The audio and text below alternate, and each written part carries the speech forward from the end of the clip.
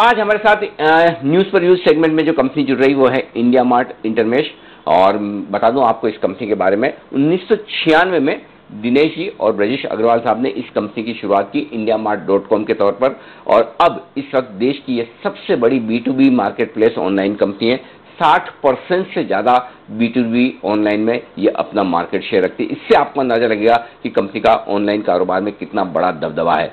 छप्पन इंडस्ट्रीज़ के लगभग सात करोड़ प्रोडक्ट सात करोड़ प्रोडक्ट जी हाँ सात करोड़ प्रोडक्ट इस कंपनी के वेबसाइट पर लिस्टेड है, जहाँ पर आप जाकर आराम से खरीदारी और बिकवाली कर सकते हैं। इकतालीस ऑफ़िस है देश भर में और 11 करोड़ से ज़्यादा रजिस्टर्ड बायर्स हैं इनके पास, जो इनकी वेबसाइट पर लगातार कारोबार करते हैं। और यही वजह लोगों को ये कंपनी काफ़ी पसंद है। हमारे साथ कार्यक्रम में शामिल हो रहे हैं इंडिया मार्ट के फाउंडर और सीईओ दिनेश अग्रवाल साहब। दिनेश अग्रवाल साहब का मैं आपको परिचय दे दूँ। कानपुर से कंप्यूटर साइंस में बीटेक करने के बाद उन्होंने अमेरिका में एचसीएल के साथ काम किया, हिंदुस्तान मैनेजमेंट एच के साथ काम किया और इंटरनेट और मोबाइल एसोसिएशन के वो गवर्निंग काउंसिल के मेंबर भी हैं और काफ़ी संस्थाओं के साथ वो जुड़े हुए हैं और बड़ा ज़बरदस्त काम कर रहे हैं। सबसे पहले तो अग्रवाल साहब बहुत बहुत धन्यवाद। जी बिज़नेस के लिए आपने वक्त निकाला।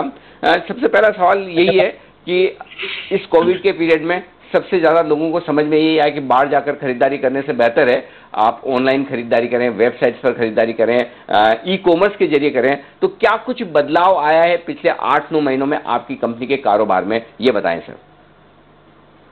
जी तो ये साल काफ़ी रोलर कोस्टर राइड रहा है, क्योंकि 2019 काफ़ी सबड्यूड था। अगर आप देखें इकोनॉमी के हिसाब से और उसके बाद जनवरी, फरवरी में काफ़ी तेज़ी से इकोनॉमी ग्रो कर रही थी। लेकिन फिर मार्च में अचानक से कोविड का वो हो गया। और मार्च, अप्रैल, मई, जून ऑलमोस्ट ऐसा हो गया कि लॉकडाउन की वजह से सारे मार्केट्स बंद हो गए फैक्ट्रियाँ बंद हो गई। और दूसरी तरफ़ अचानक से पीपी किट से लेकर के सैनिटाइजर से लेकर के और सेफ्टी मास्क से लेकर के बहुत सारी चीज़ों की मेडिकल डिवाइसेस की मेडिकल इक्विपमेंट्स की दवाइयों की, एकदम से डिमांड बढ़ गई। तो हमारे सामने सबसे बड़ा चैलेंज पहले ये था अप्रैल, मई, जून के महीनों में कि हम किस तरह से देश को इस महामारी से बचाने में कुछ भी मदद कर सकते हो तो करें। और उस समय में हमने पूरी कंपनी एक तरीके से एक मिशन पे जुट गई कि किस तरह से हम मास्क की उपलब्धि कराएँ किस तरह से सैनिटाइजर की उपलब्धि कराएँ फ़ूड की उपलब्धि कराएँ क्योंकि जैसा आपने कहा इंटरनेट केवल एक साधन बचा था और उसके अलावा कोई और साधन नहीं थे। जबकि लॉजिस्टिक्स की भी काफ़ी प्रॉब्लम थी लेबर की भी काफ़ी प्रॉब्लम थी और लॉकडाउन की वजह से लोग काफ़ी डरे हुए भी थे। हालाँकि उसके बाद हमने देखा कि अचानक से आ, सभी इंडस्ट्रीज़ में आ, कुछ इंडस्ट्रीज़ को छोड़ करके काफ़ी तेज़ी से इंटरनेट का एडॉप्शन बढ़ा। और अगर आप देखें तो जुलाई, अगस्त, सितंबर के क्वार्टर में हमारा जो ट्रैफ़िक था, वो करीब बायर साइड का ट्रैफ़िक वो 30 से 40 परसेंट बढ़ गया।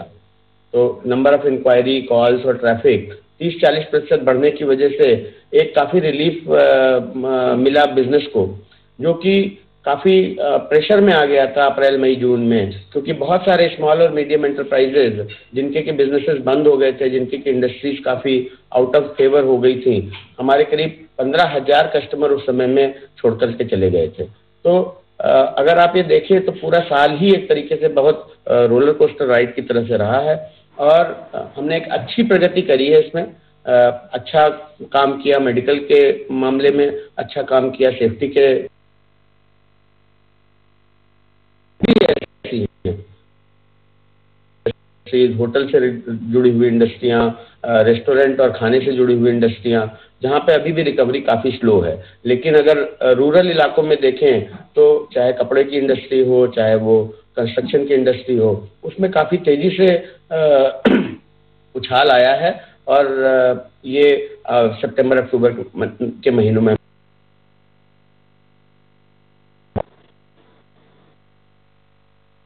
के लिए थोड़ा सा आउटलुक बेहतर होता हुआ दिख रहा है। अब ये जो सुधार दिख रहा है बेहतर होता हुआ दिख रहा है, अग्रवाल साहब ये बताएँ कि 2021 अगले साल के लिए किस तरह का आपको आउटलुक नज़र आ रहा है? क्या यही रफ्तार सुधार होने की और आगे जारी रहेगी? कैसे देख रहे हैं आप अगले साल को, सर? देखिए, सर, एक तो ये है कि जो बायर का एडॉप्शन था इंटरनेट का, वो तो डेफिनेटली 30 परसेंट, चालीस परसेंट बढ़ गया है। और लोगों का रुझान इंटरनेट की लर्निंग्स को लेकर के, इंटरनेट की इफेक्टिवनेस को लेकर के B to B market place की इफेक्टिवनेस को लेकर के बढ़ा है।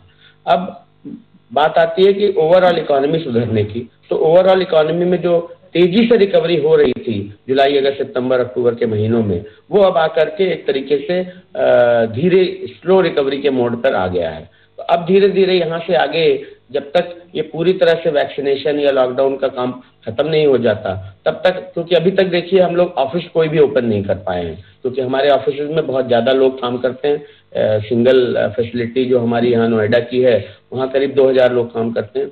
और वो अभी भी हम ओपन नहीं कर पाए जिसकी वजह से हम कस्टमर सर्विस हम उतनी अच्छी नहीं कर पा रहे हैं, जितनी कि वर्क फ्रॉम होम से करते हैं।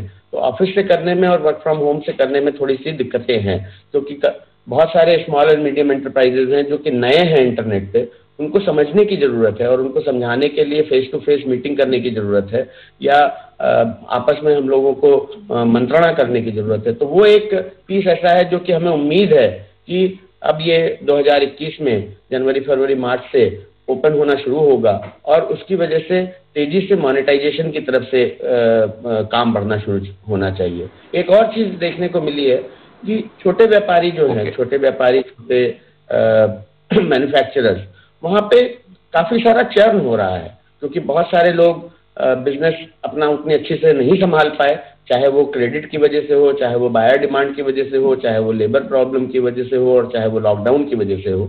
और बहुत सारे लोग अपना बिज़नेस काफ़ी चेंज कर रहे हैं बिज़नेस मॉडल्स चेंज कर रहे हैं। तो हमने ये देखा है कि हमारे यहाँ पे कस्टमर का इनफ्लो भी बढ़ा है और कस्टमर का आउटफ्लो भी बढ़ा है। तो ये अगला आने वाला साल शायद पूरी तरह से एक नए तरीके का बिज़नेस मॉडल उभर करके आएगा, जहाँ पर बहुत सारे नए छोटे और मंझोले कस्टमर इंटरनेट से जुड़ेंगे, बहुत सारे नए बायर नए तरीके के प्रोडक्ट और नए तरीके की रूरल सेटिंग्स को देखेंगे और उसके बाद ही ये स्टेबलाइज हो पाएगा। लेकिन लॉन्ग टर्म ट्रेंड इंटरनेट और मोबाइल का काफ़ी अच्छा है। ठीक बात है। तो लॉन्ग टर्म का ट्रेंड काफ़ी बेहतर है। लेकिन एक और बात जो आपसे जानना चाहता हूँ इससे पहले आपसे विदा लें। कितने सब्सक्रिप्शन कितने सप्लायर्स आपके लिए और जोड़ने का इरादा है अगली तिमाही में? सर, इसका अंदाज़ा देंगे। तो जनरली अगर आप लॉकडाउन से पहले देखें तो सारी इंडस्ट्रीज़ मिला करके हम करीब पाँच हज़ार सप्लायर्स हर महीने के हिसाब से ऐड करते थे। जो कि अप्रैल, मई, जून में हमने कम किया। जुलाई, अगस्त, सितंबर में उसमें से कुछ कस्टमर वापस आए थे। तो इसलिए एक सात सात, आठ हज़ार कस्टमर दिख रहा था नेट एडिशन। लेकिन गोइंग फॉरवर्ड इस तिमाही में या अगली तिमाही में हमें उम्मीद है कि हम पाँच हज़ार कस्टमर प्रति क्वार्टर पे नेट एडिशन पे पहुँच जाएँगे या उससे थोड़ा बेहतर ही करने की उम्मीद है।